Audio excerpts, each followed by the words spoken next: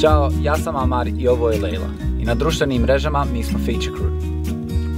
Putujemo sa Fićom, obilazimo svijet i naravno našu Bosnu i Hercegovinu. Trudimo se da predstavimo našu državu u pozitivnom svjetlu. Ali ponekad to je teško. Često kad sanemo da se slikamo, tu je smeće. Bitno je da počnemo primjećivati to smeće, da nam počne smetati, jer tu počinju i promjene. Mi smo u suradnji s Europskom unijom krenuli na našu bitku protiv smeća. Kroz naše putovanja čistili smo u raznim krajima Bosne i Hercegovine. Mi vjerujemo da se ovaj problem može očistiti iz temelja, sa obrazovanjem, akcijom i ličnim primjerom. Zato pridružite se nama. Be the wave.